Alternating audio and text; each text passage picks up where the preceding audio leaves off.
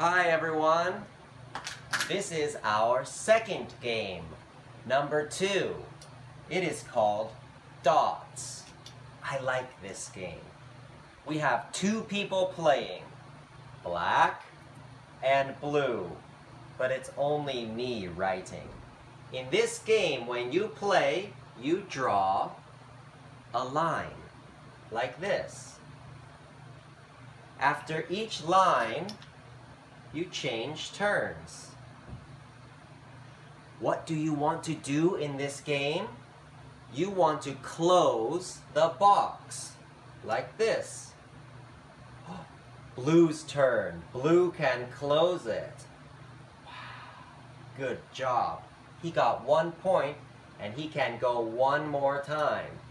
Now black, now blue, black, blue, black, blue. Wow. If you can close the box, you can get one point. Okay, black's turn again. Now blue's turn.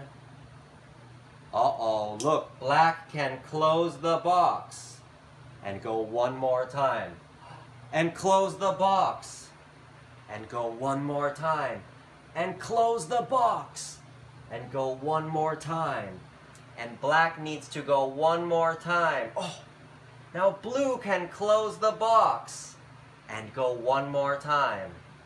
And close the box. And go one more time. And close the box. And go one more time. And close the box. And go one more time. All the boxes are finished. And the game is over.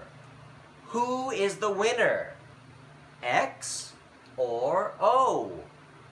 Who has more boxes? I hope you like my game.